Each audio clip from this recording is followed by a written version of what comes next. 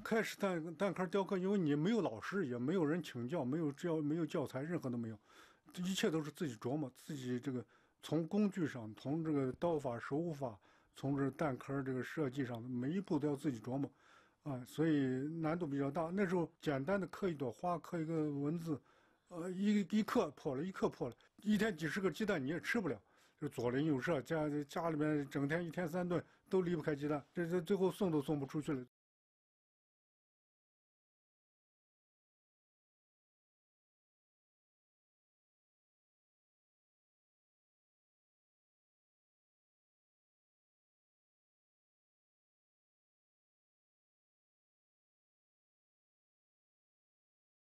从零八年以后，就先后收了六个徒弟，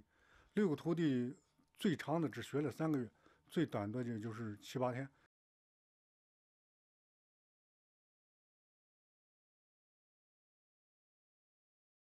蛋壳吧，平常我们觉得都司空见惯，太普通了啊，随随时就可把它扔掉了。但是你要把它的这个材质美啊，质感美，怎么表现出来？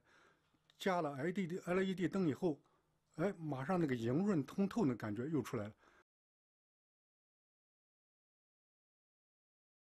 虽然蛋壳它这个材质上它来说不不像这个玉石呀、玛瑙、翡翠这些，呃，可以本身这个材质有很高的价值，但是这个作为一个民间艺术，民间艺术它讲究啥？就说是，呃，材质要求并不高，但是你的这个，呃，雕刻技法上、雕刻工艺上的、承载的内容上头，啊，这可以无限的。这个挖掘无限的发展。